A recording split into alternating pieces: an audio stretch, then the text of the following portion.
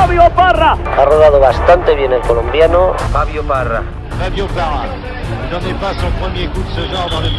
Hace 30 años fui el primer colombiano que subió al podio del Tour de Francia. Fabio Parra, el colombiano. Al fondo, el arco de triunfo. El Tour de Francia de 1988 ha debido ser para mí. Los dos primeros lugares estuvieron envueltos en un escándalo de doping. Pedro Delgado, Denis y un tercer corredor sin identificar habían dado positivo en el control antidoping de una de las etapas de este Tour 88.